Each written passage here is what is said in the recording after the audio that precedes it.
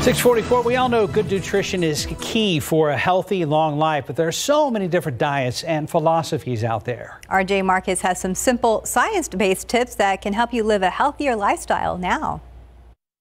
Belief-based, calorie counting, crash, detox, medical, fad, food-specific, fasting, and the list goes on and on. You have this this super fuel that your body is creating from fat. Everywhere you look, someone is talking about diets and healthy eating. But anyway, so what happened? We love the garbanzos. They do so much.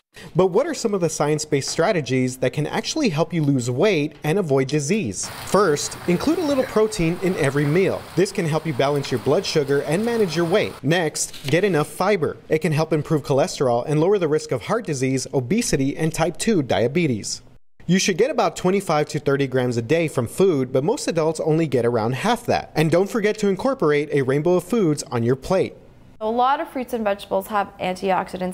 Oily fish contains omega-3 fatty acids, which may help reduce the risk of heart disease. You might also want to sip on a cup of joe. One study found 3 to 5 cups of coffee a day reduced the risk of Alzheimer's, Parkinson's, type 2 diabetes, and heart disease. But beware, some studies show too much coffee can cause high blood pressure and anxiety.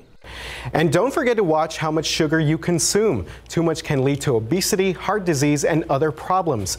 Guidelines suggest most men and women should only consume between 6 and 9 teaspoons of added sugar a day. RJ Marquez, KSAT 12 News.